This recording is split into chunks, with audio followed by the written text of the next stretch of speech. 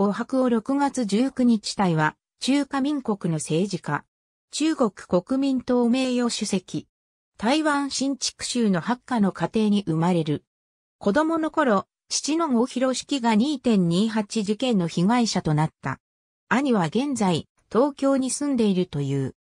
国立成功大学交渉管理学科を卒業後、高級職業学校の教員を経て1968年に台湾将棋会の議員として政界入りし、1972年に東園県庁。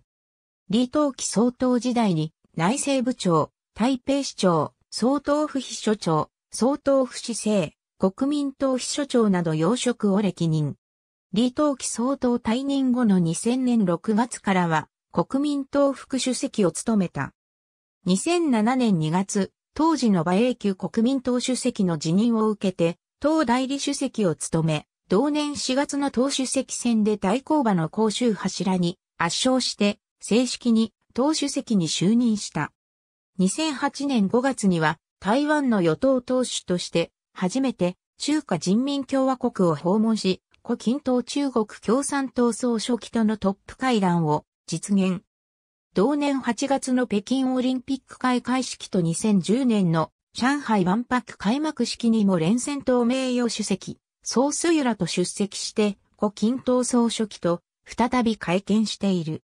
2008年12月、連戦党名誉主席らと共に訪中、第4回両岸経済貿易文化フォーラムに参加した。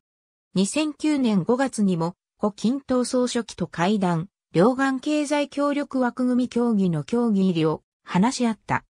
同年6月、任期満了に伴う党主席選に出馬せず、党主席の座を馬英九総統に譲る意向を表明した。2009年10月、馬英九総統が国民党主席に就任すると、国民党名誉主席となる。国民党名誉主席は連戦と二人体制となる。2008年12月7日から13日まで与党党首として公式訪日し、森喜朗元首相や鳩山幸夫民主党幹事長、石原慎太郎東京都知事など政界要人と会談。後は、訪日目的が対日関係の強化にあり、馬英九総統の対日関係は特殊なパートナーというメッセージを伝達しに来たと表明した。